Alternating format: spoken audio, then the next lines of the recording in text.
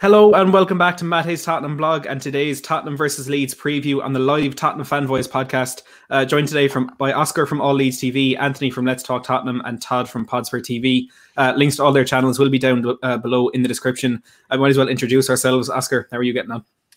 Yeah, I'm not doing bad at all, mate. I'm really looking forward to tomorrow's game. Um, I think obviously it becomes a bit less crazy after tomorrow, you know, in terms of so many games in such a short space of time. So, hmm. yeah, no, looking forward to it. It's been a decent Christmas for us after a terrible start um, against Manchester United a couple of weeks ago. Um, but to be fair, we've recovered well and uh, kept mm. two clean sheets, which is quite rare for us as well. So, looking forward to this one. Yeah, well, let's hope those clean sheets will be stopping on Saturday. Uh, Anthony, how are you today? I'm doing well. Happy New Year. Uh, yeah, I'm I'm hoping to I'm sorry, Oscar, but I'm I'm not hoping it goes so well for you. But uh, but of course, yeah, we just uh, hoping to start start to see a turnaround for Spurs, and I think tomorrow would be a great day to do it. Yeah, it's fingers crossed we can get that done. And Todd, how are you today? Always fantastic. Never a bad day to talk about Tottenham. Exactly, exactly. Uh, just get a bit of a bit of housekeeping done uh, before we do get started. Um, I just want to give a big shout out to all of our channel members. Uh, we're at eleven at the moment. They are Ratty Star, Jeremy Smith, Arthur Everett, Paul Markey, the English Yate, Darrow Flanagan, Rob Hogan, Ashley Chanel, Deck W, Paranormal Frank, and James Watson. Uh, so thank you very much to all of you for supporting the channel. Um, I do want to bring to your attention as well the uh, the the thing Marine are doing at the moment. As you know, Marine, who we're taking on in the FA Cup in about a week and a half, uh, they've lost a lot of income from their the game now being behind closed doors due to the uh, increased restrictions in Liverpool. Um, so you head over to their Twitter account. They're uh, selling virtual match tickets. Uh, it's a fantastic raffle. You can become a manager, uh, their manager for a game in a friendly. And Spurs have put in uh, two amazing prizes as well, including a skywalk at the stadium. So make sure to, to go over there and support uh, Marine and get be in with a chance of winning some good good rewards there as well. Um, but look, let's get down to business. And I think we should start with the the breaking news that we got a while ago from from the Guardian, uh, and it is that Dele Alli is expected to start for Spurs against Leeds tomorrow, which is uh, for me anyway. It, it is a bit of a shock. I'm, I'm surprised at this one. Anthony, we'll start with you. Uh, what do you make of uh, potentially seeing Dele Alli from the first minute tomorrow? Honestly, I, am glad to hear it. I, I think he needs he needs to get going. It's it's been frustrating to watch him this season, watch him being pulled off, watching how Jose has talked about him even in the media, just kind of focusing on his mistakes. So I'm really hoping that he'll he'll take his chance. I don't see him going out on loan, especially in January. So I think now is a, as good a time as ever. Just kick off the new year with a good start. Yeah, I definitely agree. Todd, how do you feel about Alli? Um, I think we're going to see shades of Dele against Bournemouth um, in one of Mourinho's first games, if you remember correctly. I think he picks up a mm-hmm. goal and an assist. I really do. Yeah. I think Leeds the way that you play. We all know that Leeds is just going to come at you. That's just mm-hmm. how they operate. and that sets up perfectly for us to crush balls over the top on the counter. If we know Dele's starting, if he's playing in a wing in a role that allows him to run behind, mm. it's going to be a good day for us mm. and him. Yeah, yeah, I completely agree. In that game against Bournemouth, I think Dele Alli got got two goals early on. It was one of the one of the many games in the early Mourinho era when he went three 0 up and somehow won the game uh, three uh, two. Like there's a weird one of the, the West Ham and Bournemouth game. We conceded the two goals in the exact same minutes. Mm, yeah. Um, but Oscar, from from a Leeds point of view, it, do you think it, it could be good news for you that Dele Alli's on the pitch? Uh, no, no, I don't think. No, I think Dele Alli is a top, top player. You know, I think at the end of the day, he's had a bad 12, 18 months. Maybe he can go further than that. But ultimately, when you've got a player like Dele Alli, it's probably the kind of player we don't want to be facing at this moment in hmm. time. Um, runs in behind, hmm. can expose our high line. You know, it, it's it's very clear. Um, something we struggle with, you know, in terms of runners from deep. You know, I think Soucek a couple of weeks ago for West Ham proved that. and Um, caused us a lot of problems making late runs into the box. Hmm. Um, obviously, Bruno Fernandes um, in that 6 2 game. Yeah, look, I'm not saying Dele Alli is on that level of Bruno Fernandes, but it's a similar kind of idea. Those late runs into the box, neither centre half, you know, will be obviously they'll know who to pick up. But when you're making those late runs, you're forcing people into late decisions, and I don't think that suits us very well at this minute in time. I think when when everything's in front of us defensively, I think we're absolutely fine. You know, Burnley, West Brom, everything was in front of us. There wasn't anything really in, in behind, and we're just able to press them and, and, kind of just crush both teams just through the press, really, in that mm. sense. And um, obviously Tottenham, you've got Son running behind, Alli running behind. You know, it's a there's a massive threat there. You know, it's a massive threat for us to deal with. And I think I would be amazed if we keep on this uh, clean sheet run, to be honest. I'd be absolutely amazed um, if we do keep a clean sheet tomorrow. I can't see it, to be honest. And that's me being a very positive Leeds fan. I can't see how we keep this Tottenham team quiet. But on the other end of the pitch, I think we can cause problems ourselves, mm-hmm. to be fair. Yeah, no, I, completely agree. There are certainly a few Leeds players that I'm worried about tomorrow, which uh, we'll get on to, to very shortly. Um, Simon Cohen here is saying Lamela should start, and Todd, the, the right side of our attack has been kind of the one place in our team where no one has really nailed down mm. um, a starting position. There, I think Lamela has probably been the closest, but injuries have have uh, hindered his season so far. Do you think Lamela should be the guy to, to get that out in the right tomorrow? No, I hope actually that they put Dele there. To be completely honest with you, I hope okay. that that's the way that we utilize him and do allow him to run behind and then cut in off the edge, um, and just not mess with the midfield right now if we can help it um, especially given the fact that that Bale and um, you know potentially Lucas with the exposure to Vinicius is are both sidelined. I need Lamela coming off the bench at 60 minutes to mm-hmm. shithouse his way to helping us win. yeah, he, he's that perfect player. And we were talking before the stream about how Dele Alli is kind of a Jose player. I think Lamela certainly fits that bill as well. Yeah. Um, Oscar, Rob is saying here, I think Leeds are an anomaly and could cause Spurs problems, frustrating Jose and thus frustrating the Spurs players. Uh, selection for Spurs is key tomorrow. Third man runs hurt Leeds. Um, do you think he could be different to the likes of Man City, the kind of really attacking teams that haven't been able to cause us problems? Do you think he have the potential to, to be different to that? Yeah, I think obviously the key thing for us, um, the way we play is the midfield really that's the key part of our mm. team you know i think in any game any given game we are cap- capable of creating chances but in this kind of game against tottenham where i think you do defend really well to be fair i think that's obviously you know when you came onto our channel matt as you said you know the last is it, is it five open goals uh, sorry open five. play goals you can see this so far this season i mean yeah, yeah, that's I phenomenal so. really that's a phenomenal effort um, so obviously it's going to be difficult for us to create like we normally do mm-hmm. but what I will say is that if we're able to win that midfield battle, control the game, because I think we'll have a lot of the ball tomorrow. You know, I think obviously in this kind of game, the way Tottenham set up at this at this moment in time under Mourinho on the counter attack in the low block, I think obviously Man City, Arsenal, I think they both had kind of 60, 70% of the ball. I could actually see us having that. And it sounds crazy as a newly promoted team to be saying that, but it's just the way the way we play. But the thing is, we've got to be dangerous to that possession. We've got to actually really control the game um, in the middle third, really, in that sense. Mm-hmm. Because if we don't, if we lose control of the game, and you've got Son, Kane breaking on us, Alli making third man runs. You know, I think as Joe said on our channel as well, it could become a nasty one for us. It really could become a nasty one for us. You could you could purely play on the counter attack and score goals against us at this moment in time because we play such high risk. The mm. fullbacks push up. Effectively, we play with two man defence. You know, in open play sometimes. You know, with, with how high the fullbacks push, how high we press as a team. Hmm. If you're able to play through that, yeah, a lot of teams have had success against us. But at the end of the day, I still think, um, I've seen that man. I saw both the Man City and Arsenal games. I think both of those teams just ran out of ideas, um, and I, I, like to say that's something Leeds don't do. We do we don't tend to run out of ideas, even if we lose games. We do stand, still tend to be a threat in that final third. I mean, we score 30 goals in the first 16 games, and mm. that's clearly the strength of our team. I think defensively, you know, there's a lot of criticism for our team. I think obviously both teams here have got problems with set pieces. You know, I think obviously mm-hmm. very well documented. Both teams have got problems with set pieces. So I would not bet against um, being a set piece goal tomorrow off um, off one of the teams. Hmm. Yeah, definitely. It's it's it's a it's a place to keep an eye on. You know, Spurs ten goals conceded from penalties and set pieces this season for a team who you know for a month we're top of the table and we're talking about a title race. Uh, it's it's definitely not good enough. Um, Anthony Oscar was mentioned there the the kind of midfield battle which could be really important to this game. Mm-hmm. And the Irish David Harris, a close friend of the channel, of course, uh, mm-hmm. saying, "Do you think Dele starts instead of Ndombele because of fitness against a high energy Leeds team, or does Ndombele play beside Højbjerg and Sissoko misses out? So what what do you think that midfield setup could potentially be tomorrow?" That's a great question.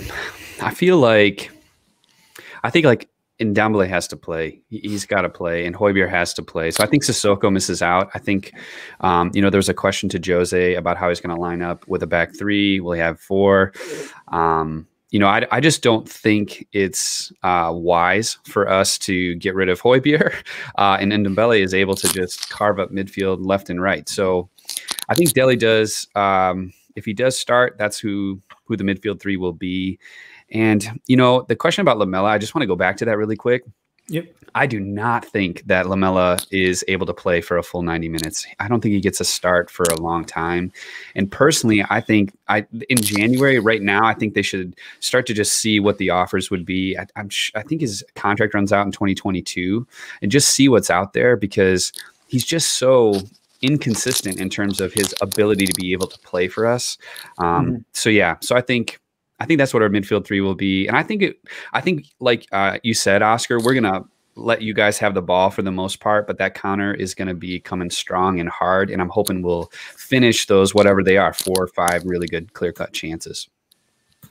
Yeah, I agree. It's it's. Um, I know I, have been speaking with uh, Oscar and Joe on Ollie TV about this. The kind of the midfield setup that Leeds have. Um, I tweeted about it recently. There's just quite often the only thing I can describe it as is a black hole in the middle of that park. And you know, against West Ham, Oscar, I'm sure you remember Sébastien Haller. Uh, his his hold of play in that game was really really important to the kind of it, it helped West Ham control the game to some extent. Mm. And I feel like if Harry Kane is the man picking up the ball in those positions uh, tomorrow tomorrow afternoon, Leeds could be in, in massive massive trouble. And there, there could only be potentially one winner in that game if you do afford uh, Harry Kane the space that, that he would want. Go ahead, Todd. Well, I wanted to ask about that because in the last few games, what we've seen the league do to adjust to Harry Kane being arguably the best passer in the Premier League is just foul the hell out of him as soon and as often as possible. And it's extremely effective because it essentially shuts down the counter immediately. Mm-hmm. Um, mm-hmm. What's interesting is going to be basically the two counters passing one another and exactly who has the time and space. Um, the one real issue that I'm concerned about is Kalvin Phillips being able to sit in front of that back four and just soak up pressure. And if that's mm-hmm. what happens, we're going to be looking, as um, someone else, one of the the um, viewers mentioned, for those those third runs. And I'm mm-hmm. curious is to I feel like this is one of those those games where we see an Ndombele goal again, mm-hmm. right? Like I, would mm-hmm. be perfectly set up for that. Mm-hmm. My question is, is that how has the transition of Kalvin Phillips sitting in front of the back four kind of helped protect against your guys' vulnerability in that midfield, Oscar? I think obviously we've had Kalvin Phillips start the season again, didn't start the season particularly well by his standards. Hmm. He then got a quite a big injury against Wolves, and then I mm-hmm. missed, I think it was five, six games. In those five or six games, we conceded the large bulk of our goals in those five or six games. There's no coincidence about that at all. We just, when we had Kalvin Phillips missing, we got hit pretty much every game. We conceded two goals on the counter attack, not just one, two goals on the counter attack. You know, and, and that was the frustration. We we could not defend in transition at all. I think even out the back, we struggled a little bit in terms of the build-up play. So he's absolutely critical um, to all kind of elements of our play. Really, I think it, what gets ignored a little bit is how good he is in the build-up. You know, in terms of playing the ball out the back. I think for me, that is probably I'd even argue his biggest strength is, is, is kind of playing the ball out the back in terms of playing cross-field passes, getting us up the pitch as quickly as possible, exiting us out of the um, out of the first third to an extent. Really, really critical in that sense. Um, I think in terms of defensively, he's, he's just very, very wise, Kalvin Phillips, in terms of, as you were saying before, you know, the the fouls and that lot, you know, the tactical fouls, I think Pep Guardiola calls it. It's something as a team, I don't think we, we've done enough this season in terms of when we've been hit on the counter, just just fouling players, you know, in terms of where we faced Wilfred Zaha this season. Um, Jack Grealish, we did, quite, we did, it quite well against, to be fair, on Jack Grealish in the Villa game. Um, but I was thinking, you know, other games like that, Bowen, Jarrod Bowen, Said Benrahma when we played West Ham.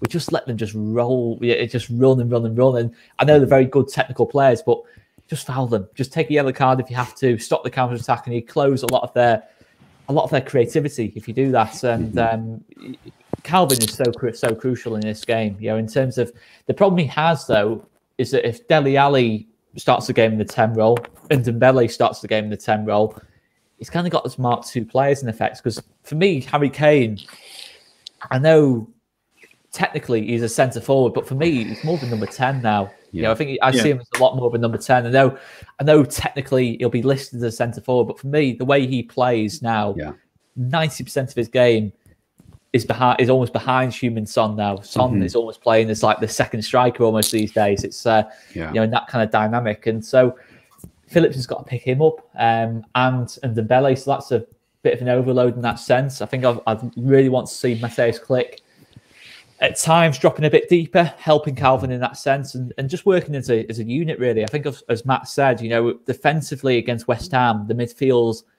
struggled in that sense because obviously Rodrigo Moreno, who's an absolutely fantastic footballer, hmm. is still not quite in sync with our press yet. He presses like a centre forward still. He pushes a bit too far at the pitch.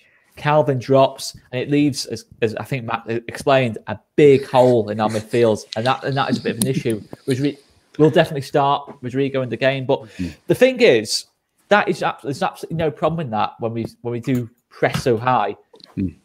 The problem yeah. is when you face a team that can play through that. Mm-hmm. West Brom, Burnley didn't simply didn't have the quality to do it. Mm-hmm. Tottenham, Tanguy Ndombele is one of the best players under a press in the whole league for me. Yeah, yeah. It is impossible to get the ball off. Yeah, the only way you get the ball off Ndombele is if he makes a mistake. It's not a case of you for, you getting the ball off him. It's if he mm-hmm. makes a mistake, and he, and he doesn't make mistakes. He's so clean technically. Yeah. Um, you know, in terms of how he can just turn and get himself out of pressure. So he's a big player for Tottenham. Uh, mm-hmm. Uh, Lo Celso as well, if he plays. Again, I know that's quite unlikely. Um, so there's a lot of technical quality in that Tottenham team. Højbjerg is someone I've always liked, even at Southampton. I thought he was it was always a matter of time until he made the step up. It's no surprise to me um, that he's done so well for Tottenham. Mm. Um, so there's a lot of technical quality in that Tottenham team. So the press, we've got to get it absolutely spot on tomorrow. We're going to play high risk, but if you play high risk, you've got to get the press absolutely spot on. Mm-hmm. We've seen against Manchester City in the game actually that Matt is showing on screen right now in that game, the press was just so, so right. It was so, so right. In the first 15, 20 minutes of that game, we really, really struggled. Man City could have been two or three up. And I'm not going to lie about that. They could have been two or three up. But after that first 15, 20 minutes, we started to press the unit. We started to realise the danger was Kevin De Bruyne, the Phil Foden, I think, who played as well. We just started to really press them when they were on the back foot and, and they couldn't get out, Man City, mm. really. And we, we probably could have won the game, to be honest. And and it's going to be very much a similar kind of game for us. Again, Tottenham are a little bit more defensive for me in that sense. You know, obviously you play a bit deeper, you sit in a bit deeper, but on the counter attack, you're definitely a lot more dangerous than Manchester City at this moment in time. So it's I look I look at um, Tottenham, and I've, I've said this um, you know on other Tottenham channels recently that Tottenham are our kryptonite in a sense in terms of how they play. Um, you know, I think we've yeah. seen this season with Crystal Palace and West Ham. Sitting in and hitting Leeds United on the counter is well, probably one of the most effective ways of beating this Leeds United, Leeds United team. Um, I think obviously you've got the extra advantage that you have more technical technical quality than us. So it's a really fascinating game from a tactical point of view. I don't think it'll be the greatest game in terms of aesthetics in terms of watching a game that the beautiful football will be played. I don't think it will be necessarily be that type of game unless we score first. If we score first, I think the game massively opens up and then turns into a classic. If you first score first, I think it's a spectacle. I think it loses its interest because I think it, if you yeah. score first, I think it turns into a 2 0 game. Oscar loses its, its, loses its interest until the 80th minute, and then you guys should, you know. Well, yeah, if we keep ourselves in it, yeah, well, hopefully Jose will uh, go a little bit over defensive, and we'll we'll um, we'll catch you on a set piece or something. That's uh, that's what I'm hoping for. I can't believe I'm about to say this, Oscar, but I almost hope you guys score first because I want us, I want us to play this this score in the first 15 minutes and shut it down for the rest yeah. of the game is not good for my heart. No. it's so disappointing, and I feel like you know, I was talking uh, on the channel to Holly, and and we were just talking about how I feel like West Ham when we we're up three and then we lost, you know, well, we drew, but it felt like a loss because they scored all three of those goals. I feel like Jose, he went into that shut it down mode. It's like, we're just going to get one or two up and we're going to be really compact and not concede. Well, we, we did well for, I think it was like four or five games. We had double clean sheets, but the problem is, is we can, we concede. And I remember talking about this early on in the season. I was on um, Matt, your your podcast here, and we were talking about how when I was given my scoreline prediction, I had to say one for the away team because yeah. that's just who we are. We just will concede one. And so I'm, a, I'm with you. I, I, feel like if we can concede it at the right time, and then hopefully uh, everybody's got a little more fire under their butt, um, yeah, we'll, we'll see a, a much more uh, positive result. I'm definitely with you there. I think what that really boils down to is um, Davinson Sanchez. Uh, hmm. Because if you remember, it was Davinson Sanchez and Dier that were that were um, the pairing for that run. Where yeah, yeah, we gave up a goal, but we were winning because we yes. were playing the way that we could. Um, And that West Ham game where we gave up three in the last 10 Yep. uh, was basically Davidson Sanchez telling Jose Mourinho that you can't play a high line with me. I'm sorry. Yeah. And so we bought Joe Rodon, who's a naturally left sided center back, to back up Eric Dier, I guess. Yeah. Um, but we still have Toby and then a giant need uh, at the right sided center back to, Mm. to replace Sanchez um, Mhm. in order to give Jose the type of uh, confidence that he needs yeah. in our back four to play that high line again, which allows us to do what we do um, and play some enjoyable football. What what I don't understand though is why you know in the up until that game against West Ham we were scoring goals. I mean we scored what six against Manchester United. We put seven past Maccabi Haifa. We were scoring so many goals, and then it was after that game. Now we're doing these one ones, two ones. Like I don't know if it's they're they're not. Is Jose is Jose not telling them to risk going forward and get that second, get that third goal? I know he says I told them different and they didn't do it, but I think it is in the back of their mind. They're worried about not, you know, getting called out after the game that your mistake led to this one goal that we got, and now we drew one one. I mean, it's also the competition that we're looking at, right? And the run of games and the amount Yeah, of totally. games in that timeline and the amount of important games in that timeline away from home Yeah, with the mounting injuries and possible coronavirus. Dude, the thing is, is that it's really, really tough for us as as fans and, and Mhm. pundits and in in, uh, people who enjoy watching Tottenham uh, Mhm. and Leeds. Sorry, Oscar.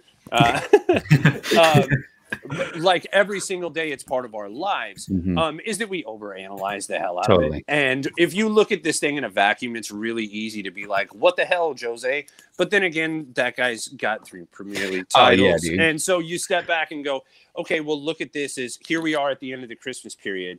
If it weren't for the fact that Fulham, uh, you know, got called off at the last second, um, you know, we would probably have what thirty or twenty nine points somewhere in there. Yeah, It- yeah. it- Yeah. And so you're looking at that going, okay, 29 points at, at going into the new year, Mhm. and, and we're you know four to six points off top. Like Yeah. that's a comfortable position to be in. Like Yeah. okay, we're all we're through the the hardest away fixtures arguably in our schedule, right. um, with the exception of going to Etihad, I think. Mhm. Um, but you know we're, we're in a position to be successful on a downhill slope, so we can coast a bit in particular places. Plus, Mm. we, you know if we get through, um, you know, big if uh, if we get through Brentford um, in the semis of the League Cup, that final is in uh, April instead of February. So Yeah. we've got extra time yeah, to kind of focus on the league. We're gonna Yep. be okay. Is the Yeah. way I view it.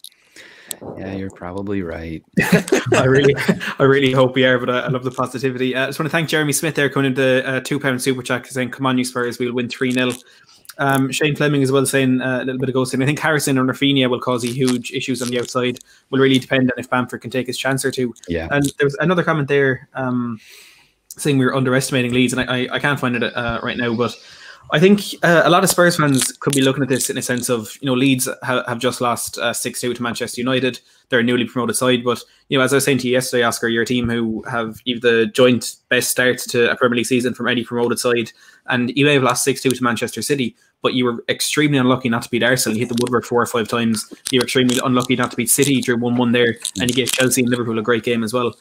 Like, how confident would you be? Would you almost would you be more confident going into a game against one of the big sides than you would be against one of the smaller sides, or does Tottenham's kind of different approach would that kind of take that element away? It's a hard, it's a hard one really because up until we played Chelsea um, at the start of December, I was very much under the impression that our style was more suited to playing teams higher up the table. You know, I think obviously we saw from that Arsenal game they played quite open against us.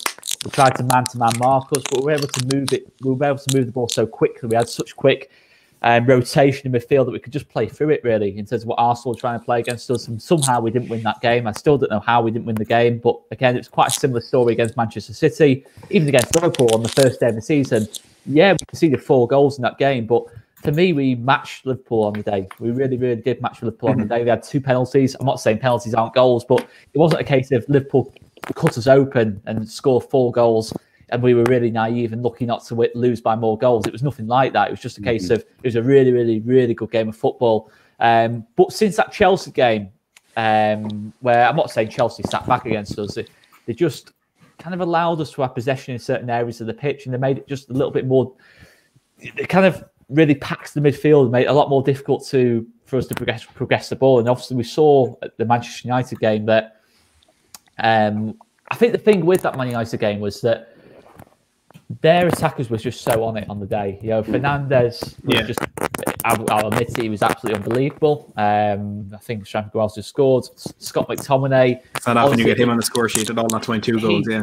he Yeah. played. He played like prime Paul Scholes on the day. Honestly, seriously, the way the way he was burst into the box, I was thinking. I, I knew he was a decent player, but I was thinking, "Oh my word, we can't get anywhere near him. We can't get anywhere near him. He's just burst into our box and Yeah. he's smashing ones into the bottom corner in the first thirty seconds of the game." And I just think that that game has kind of tempered the expectations when we go into the big ones. Um, I think obviously Tottenham. I think there's a big thing. The big thing for me with Mourinho is that um, I've no problem with how he plays football, but you've got to get results with it. I Yeah. think that's the Yeah. thing. that I think any Tottenham fan would say that. We're right there The with you, style Oscar. of football. the best style of football is the football that gets you the most wins. You know, Yeah. I'm, I'm, I know I'm a massive um, Bielsista, and uh, I'll never ever want to see Leeds play the way Tottenham do, having you know had Marcelo Bielsa at the club. Um, I'm not having a go at Tottenham, but it's just you know in terms of having when you got Bielsa at the club and the expectations are quite low, it, it- it's just the way it is. But obviously, look at Tottenham at this moment in time. If Mourinho went for it, Mhm. allowed Son, Kane, that little bit more freedom in open play, you know, when you're building up, maybe got that little bit more threat in terms of Bergwijn in the team, Lamela, Alli, you know, in, in the number 10 role, and playing Dembele a bit deeper. I think, I honestly think we, we would be in big trouble tomorrow. Um, and I just think the way we've started the last couple of games, um, yeah, the if you ignore the Man United game, we were two down after three minutes. Other than that, we actually have started games really, really well. We went one up inside five minutes at Chelsea, one up inside five minutes against West Ham, um, Burnley and West Brom. We got the early goals, and ultimately, I think if we do get that early goal tomorrow, I I know obviously what you're saying there in terms of you, you really want you want us to score first, and I can understand that. So I can I can understand that, um, especially after the last couple of weeks when. Um, it's, Yeah, we don't want you to score last because This that is true. That's, that's a good point. But it is interesting that you bring that up. I, was- I was actually going to ask Oscar, are you guys worried as Leeds fan about Bamford's finishing? Um, I've watched a few of your matches, and he, I feel like there's been a handful of sitters that have been really tough to go to watch go wanting, and, and I, I can only imagine what it's like wearing a lead shirt and, and sitting at home watching that. So I'm curious, how are you guys uh, in, in the Patrick Bamford camp? Well, Lord Patrick Bamford does not get um, criticism amongst the Leeds United base. I mean, I'm just going to add in here, Val. While you try to um, have a go at my um, Patrick Bamford, he has actually scored more goals than Harry Kane um, Sit at this down. moment in time. At this moment in time, I'm going to exaggerate that. At this moment in time, that could be different. Come, uh, but I'm going to I'm to live off that That's one for fair. the time being. I'm gonna, but no, to be fair, look, Patrick Bamford's finishing has improved massively this season. He has missed a couple of big chances last couple of games. Um, against Man United, to be fair, he had two big ones. Um, I mean, his heading isn't great. I've- There's one in the Liverpool match. There were two in the Chelsea match. so I Yeah, I'm not. Gonna, I'm not going to lie. His heading is. Um, I love. I love Patrick Bamford, but he does head like he's got a 50p coin head. To be fair, 'cause it just bounces. But I, I do love Patrick Bamford because his other elements of his game are just absolutely outstanding. To be fair, um, outstanding te- technician. I, the only thing is, I just wish he had that little bit more pace. Because if he had that bit more pace, I, gen- I genuinely do believe he would be one of the best strikers in this league. He just because he's just got so much technical ability. You know, he could just drive past players with ease. You know, in, in almost in the sense of um, what you see from the top centre forwards in the league. But but look, Well, yeah, Remember, you're talking to Harry Kane fans over here, man. If we only had a little more pace. yeah, That's that's the the thing. stuff we need. Harry Kane. I mean, wow. If he seriously, if Harry Kane had the speed, I mean, he he, he would be winning Ballon d'Ors. There's no question about it for me. Um, and he probably, he, I think he has got a good chance of winning one at some point in his career. But my word, if he had pace, he'd be um, you know even more unstoppable than what he already is. So To I'm be just fair, thankful the he- soccer I'm thankfully ha- he, he, he hasn't to be fair. Thankfully, he hasn't, though, if I'm being honest. Yeah, but yeah. having said that, if Harry Kane did have that bit more pace, would he be more willing to drop in and just Yeah. play like the key provider to Heung-min Son?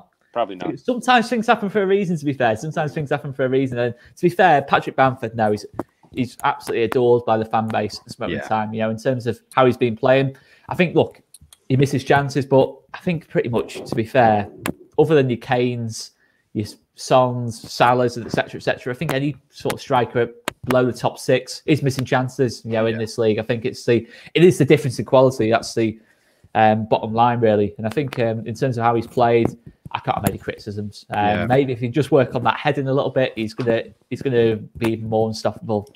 I wanted mm-hmm. to ask you, Oscar. Um, stateside, we've been hearing about Jack Harrison for years, and and talking about how he was a big deal and how he had you know quality above and beyond the league that where he was playing, and it was a matter of time before he realized it. How has he settled in at Leeds, and and how does the fan base receive him as a player?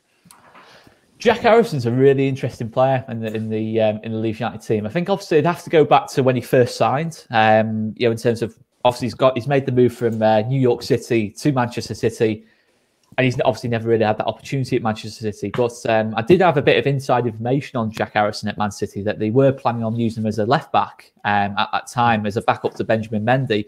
Of course, that plan may well have changed now. Um, they've never really shown that interest in keeping them. That's that's right, Shane. That's right. Um, I'll take that one to the time being. I'm not going to make that argument, but if someone else is going to make it for me, that's absolutely fair. It, but I'm going to agree with that argument. Is what you're saying. um, oh, but, but um, top man there, Shane. Um, but yeah, you, you, look at Jack Harrison. Um, I mean, when he first came to Leeds, he was very highly criticised. I mean, he didn't adapt to the team very quickly. Um, the first season very inconsistent, if I'm being honest. Um, he was playing, I think, obviously at New York City, he seemed to be playing on the right hand side a lot, cutting in on his left foot, a bit like similar position to Mo Salah, uh, Lamela, etc., etc. You know, playing playing kind of kind of as like an inverted winger, so to speak. And but at Leeds, he's kind of always been playing on that left hand side. So it took him a year to really adapt to it, to be honest. And I mean, his work rate now compared to when he first signed for the club is chalk and cheese, totally different. I mean, now he's he's first in the press. He's energetic. He runs in behind. He's one of our main outlets of the team. Probably, mm-hmm. probably is our main outlet in terms of counter-attacking threats, in terms of getting up and down the pitch. Helps his left back out immensely. Um, you know, he's been he's been fantastic. To be fair, you know, in terms of the last two years, been absolutely fantastic. I think this season, I think the trouble is with Jack Harrison is that people hold him in such have such high standards for him. Hmm. In that sense, I mean, I'm not really sure why, but he is a, he is still his first season in Premier League football. But people sort of say, "Oh, he's over it that cross. Oh, he makes poor decisions," but he doesn't make poor decisions. He's amongst, I think, the top ten, possibly even top five. Um, I'm not sure if Matt might have the stats on this in terms of chances created this season, and and that is really impressive. You know, in terms of how he's done. Don't get me wrong, there is elements of his game he needs to work on. His finishing is definitely definitely one of them because um, he smashed one in from 40 yards against Newcastle and then missed it proceeded to miss about four or five absolute sitters after that. And then, to be fair, against West Brom, he scored an absolutely fantastic, fantastic solo goal against West, West Brom where he was just twisting and turning, and, and it was a fantastic finish. So, I think obviously he's had really high praise as well. Obviously, Frank Lampard from his time at New York City, very, very high praise. David Villa, I mean, you know, David Villa, absolutely incredible praise for him. Andrea Pirlo. So, you know, there's definitely, you know, if, if you got three people like that who have seen potential in him, then I'm not going to argue with that. I'm not going to sit here in, in, in, the living room and say he's he's um, he's not that good because he is good. He's clearly a good player, and, and there's clearly the potential is there to get even better. Um, whether he's going to get himself into the England squad, I don't know. Um, there's a lot of competition for the wings um, for England at the moment. Obviously, you've got Jadon Sancho, Sterling, Rashford, Grealish at the minute, who's emerged this season. Um, there's probably loads have missed off as well. To be fair, Harvey Barnes as well. There's there's at least five there who are, who are most definitely ahead of um, Jack Harrison in the pecking order at the minute. there's probably another two or three at least. So, um, you know, it's you know, oh, that's outrageous. That that's outrageous. outrageous. we had to get some ballots in here. In the, in the. Uh, outrageous. I mean, I, oh, I don't think Shane Gary into your good books here, Oscar. Just combined eleven.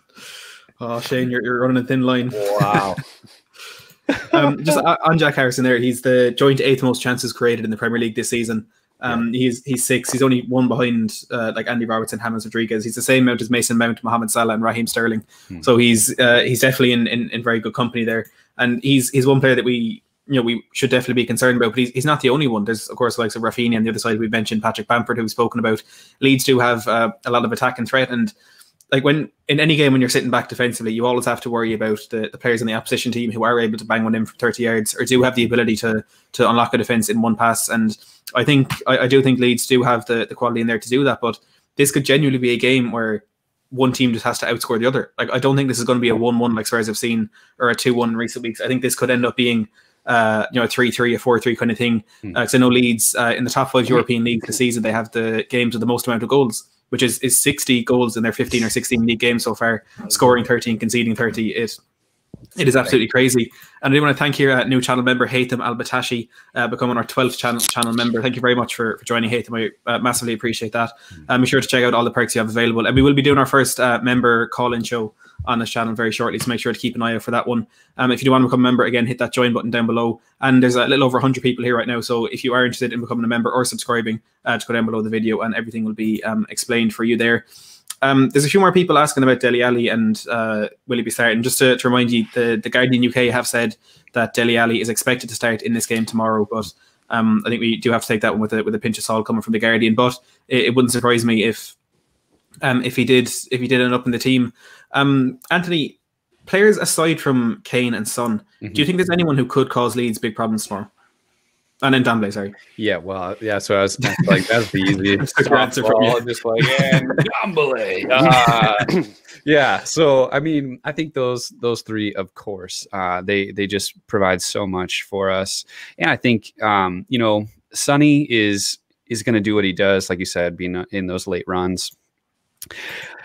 You know, I like I said, I did I did this uh, video about like rating our players, and I just feel like so many of them are so normal right now. They're they're not great. They're not world class. They're just so normal, and it's it's really. Um, I don't know. I feel a little disappointed about it because I felt like the summer had so much promise, right? We bought, uh, you know, yeah. so many. We we brought in a couple on loan, and I feel like you know, I don't know. It sounds like Lucas Moura might be available. I know sometimes he makes, you know, dribbling runs that end with him just falling over and losing the ball. But um, but I also, want to talk about a black hole. but I do feel like on his day, Lucas Moura can uh, provide something that other players can't. Uh, and I, I, feel like as well, um, just like you'd mentioned before about Lamela, I think Lamela coming off the bench will give us uh, a boost. So I hope to see him, you know, probably 65th, 70th minute, give us something, especially at the end of the game, uh, bring that chippiness, get under their skin a little bit, do what he does best. Well, yeah. Oh, go ahead, Todd. Oh, I, I said we're probably going to see the Stevie B. Um, yeah. And, and Son, and they'll be flip flopping on the wings, depending. Yeah. Um, and depending on on where they sit Dele in. I'm not sure. I like I said, I want to see him play up wide as more of a runner, but you're right. He'll probably end up slotting in next to Ndombele as like a double yeah. ten. I don't really know. Um, the one question I did want to ask Oscar is, speaking of Raphinha, like he's very dangerous going forward, but I I feel like oftentimes his final product lets him down. Um, do Leeds fans feel similarly, or are, are you highly on the Raphinha train? Um, I mean, look, yeah, no, I wouldn't, I wouldn't disagree. Sometimes in terms of the talent he has got, um, I think it's a hard one really because he's he's so um, he's been put into the team so so quickly. That's the thing I would say in terms of when he first arrived. I didn't think he'd find himself in the team so quickly. But Helder Costa, who was starting in that position at the start of the season, um, it's just kind of in in to be quite honest, in terms of form wise, it's just kind of fallen off a cliff really in terms of form. Um, for start of the season, he was playing absolutely fantastically well, best probably period of his Leeds career, um, and he's just completely lost form. So Raphinha's naturally come in straight away. So I think he's shown absolutely serious quality, um, especially his finishing, his ball striking is phenomenal, and he scored a really good goal against West Brom. Um, yeah, recently he scored a really good goal against Everton as well. I think maybe the one, the next step for him, I think I would have to agree, is creating more chances. You know, just being a little bit more decisive in the final third. But in terms of technical quality, ability to take on a man, get involved in the game, absolutely first class. I think obviously the pace. I think the other thing that's underrated is he's got a lot of pace about him as yeah, well. In terms of his style, stylistically, he's not too dissimilar to like a Bernardo Silva, almost Lamela in the sense that he'll drop quite deep, but he's got that pace just to, you know, kind of almost lure like his fullback to him, kind of thing, and then just speed behind him in that. Yeah. lot. and he- he's, he's showing he's such an intelligent footballer and probably one of our best players at this moment in time. Well, speaking of speed, how do you guys plan on dealing with Sergio Reguilon, who's likely going to start as the, the left sided fullback for us? Because that guy, you want to talk about world class, um, especially i- if there's uh, Spanish pig on the line. Watch out. uh, I, I I really hope it is Reguilon. I Yeah. to say that. I'm hoping it's Ben Davies, to be honest. Um, I bet you do. There we go. Um, See, yeah, I- no, Reguilon. I mean, I wa- remember watching him for Sevilla um, last season in terms of against Barcelona, Real Madrid, the Europa League run. Um, Sevilla went on and ultimately won. He was absolutely fantastic. He's probably the standout player in that team.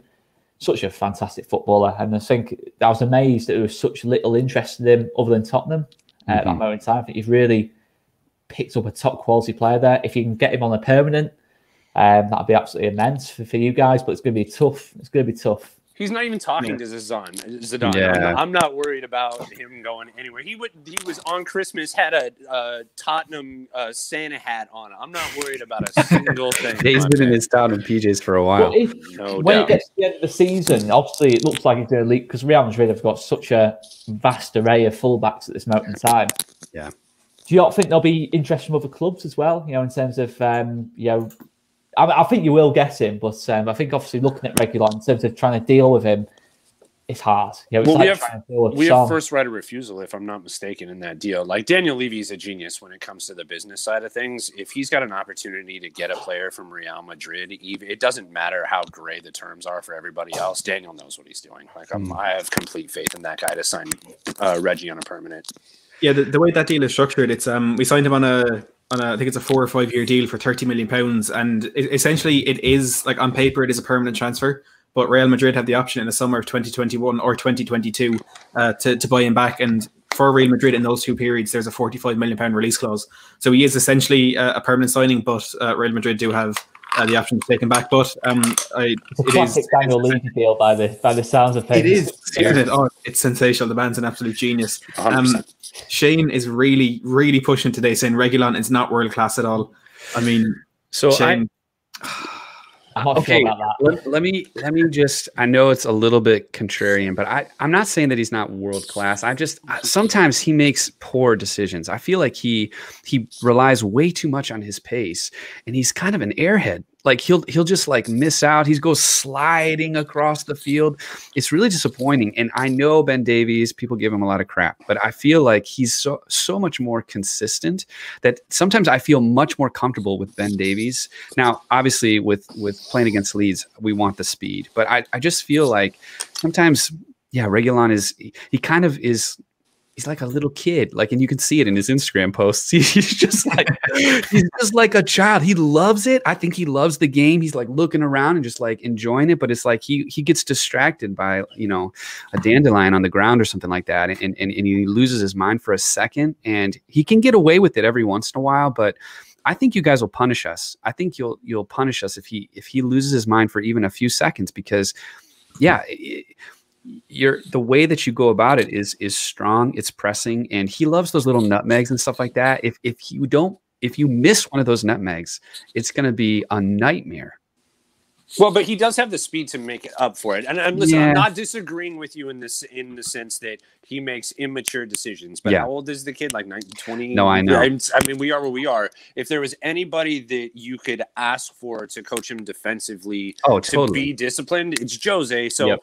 by the time that he gets into year two of the his Jose coaching, Yeah. um, I, I'm not concerned about Yeah. that. When it comes to to quality, Mhm. um, and, and especially as the season goes Oh, it's along, there. he gets more and more and more Yeah. playtime under a Jose system. I, I mean, I, the question of him versus Ben Davies is not is not a real one. And I think to Shane's point, the proof will be in the pudding. I might be a little hyperbolic here, but um, I, I think that by the end of this season, uh, if not for sure by the end of next season, you Yeah. might feel differently about that statement. If he was consistent, he's he's out of this world. I mean, he he's yeah, he's amazing. But I just feel like at the moment his inconsistency makes me nervous, and and I just feel so nervous all the time as a. I don't You're more. not I don't alone. need any more of that. yeah. Um, look, I think it's, it's we're, we're, at that time of the day now where the the one that I never enjoy. But uh, actually, before we get there, we've uh, another new channel member, uh, Saro Inul. Thank you very much for joining the channel membership.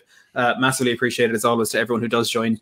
Um, it's time for us horror predictions, and I, I always hate this time of the day, uh, and I know a lot of people do. But look, uh, we say what you, Oscar. Tottenham Leeds. What are you going with? On the basis Leeds start the game well, um, get the first goal. I'm going to go 1 1. I'm going to go 1 1. I don't think. Yeah, I'm going to go 1 1. I think I think that we just can't keep Kane and Son quiet. If we do, I'd be absolutely over the moon. But I think one of them will produce the amount of magic at some point. I don't think it'll be the greatest game of all time, um, but it'll be uh, it'll certainly be interesting to watch uh, in terms of being. It'll be a really tight game. It's probably the best word for it in terms of it. I don't think either team will run away with it to be honest. So hmm. yeah, I'm going to go for one-one. Uh, a very wise man once told me if you predict for your team to draw, it means you think they're going to lose. But I'm not going to say anything. Um, well, I'm only joking. You. Um, yeah, I, I agree. It, it, could be a, a, very, very tight one. But uh, Anthony, what are you going to go with? All right, so I said already, I, I think they're going to score at least once. Uh, I think we have to be clinical. We'll probably get four or five good chances. We have to make them work. And I think because uh, the Fulham game was postponed, Harry Kane, you know, the baby has been had. He can, you know, really focus on the match. I'm going to say 3 2 with a Harry Kane brace.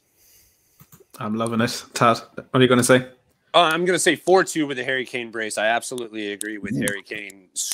He's probably going to get fouled in a box and end up with a penalty, and he's going to score one from open play with a Son assist because I like that a lot. Sonny gets on the score sheet as well. Um, it's three early for us, um, and you guys claw two back. Uh, it's just how we play. Um, and, and, then we score one late off of a set piece because both of our teams are fucking terrible at defending set pieces. oh, set pieces. That's the. I'm thinking back at one-one now. I'm thinking that might have been. Um, that I, will go two-two. Actually, I'll go two-two. There'll be a goal each. more entertaining. One-one was really, really um, negative, wasn't it? I'll go two-two. I'll go for a better game. We believe in your squad to score two. You know. We do. Do you Actually, want, uh, we believe here? in our squad to give up two to you. well, yeah, it's a one. I have a lot of Yeah. um, Rob saying Luciano Becchio is a name that I haven't heard in ages. Saying Beckford and Becchio would have uh, caused us massive problems. Uh, Rob also saying uh, two one to Leeds. Um, I, I, said when I was on All Leeds TV yesterday with Oscar and Joe, I you said two. That comment quick. I and you got rid of that comment quick. Matt. I, I, I, don't know what you're talking about. very quick. Very, very quick. There it is. Okay, happy. Um, uh, when I was on yesterday, um, I, I, said I said two one to Spurs, but Elena, who was on All Leeds TV, and by the way, I'm going to drop the link to that uh, in the live chat in a second. It was an absolutely outstanding debate with Elena uh, about Tottenham's uh, the the way we play and stuff. is on Leeds TV, so I'll, I'll link that in a second. Um, I said two one, and, and she said three two, and I'm going to have to lean towards what she said a bit more now because I think it uh, it could just be uh, a really fascinating, enthralling encounter with you know like goals galore, set pieces, counter attacks. There's a, a, lot of chances uh, for scoring. So I'm going to go for for a three two win. We have to stay confident, but uh, as as Anthony was saying earlier on, it's a very worrying team. We've all said uh, Leeds to score twice. But uh, look, it wouldn't surprise me. Um, Luke, they're saying what's happened to my arm. Um, I broke my wrist playing soccer because I'm an idiot. Um, but uh, it'll, it'll, be all right soon. Um, look, lads, I suppose we leave it there. Um, it's been an, uh, a sensational discussion. I've, I've, really enjoyed all of it. Um, Oscar, Anthony, Todd, I might as well go one by one. Oscar, where can we where can we find you on YouTube and Twitter?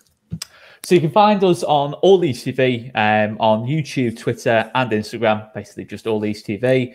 And yeah, we just basically do Leeds United content, all the Leeds United content we can do, uh, match previews, match reviews. Uh, we do a little bit of Premier League general content as well. We do something called Before the Whistle Blows, previewing Premier League games. Uh, Monday Night Football, which is more of a general, broader Leeds United discussion. And we obviously get opposition fans like yourself um, on just to discuss the games. And we do watch alongs as well. Um, when we don't get uh, we we got a bit of bad press for a watch along we did a couple of weeks ago, um, as Matt will know about. Oh, um, but no, we do enjoy it. We do enjoy it. We're not. Uh, yeah, we do really enjoy it. So um, we do a bit of everything. Uh, we try and upload on a daily basis, and yeah, it's, it's really fun. Yeah, and I do recommend to anyone, whether you're a, a, Leeds fan or not, to go over and check it out. I'm always there for their watch alongs uh, when I can. And I just try, drop that link in the chat if you want to go check out my debate with Elena from Lily White TV um, about how, how Jose lines up his team. Make sure to go over and check that out. Um, Anthony, we'll come to you next. Where can we find you? Yeah, on YouTube, it's Let's Talk Tottenham. Uh, just started the channel back in June, but have just really enjoyed it. We've got a Discord server as well. People getting their thoughts in all the time. And yeah, on Twitter, Instagram. I even started a TikTok because you know what the heck are we doing out here in 2021? but it's let's underscore talk underscore THFC. Brilliant. And Anthony recently uploaded a video. Um, his he made a Tottenham version of the Auld Lang Syne, and it is uh, right. uh, it's well worth the watch. Make sure to go and check that out. And mm-hmm. Tad, where can we find you? Uh, you can find me personally at, at TC underscore Kasho on Twitter. Uh, also at Tottenham Pod on Twitter. I am graciously part of the uh, Tottenham Podspur crew. Uh, TV as well. All of the links are on Twitter. Um, happy as always to talk about the fantastic Lily Whites. Uh, thank you guys. Appreciate mm-hmm. it. Yeah, yeah. Thanks fun. very much, Todd. And again, uh, highly recommend going checking out Podspur TV. Uh, the links to all the three YouTube channels mentioned will be down in the description below. Uh, if you do want to check that out, uh, for for my channel, if you have enjoyed this, make sure to give it a big thumbs up.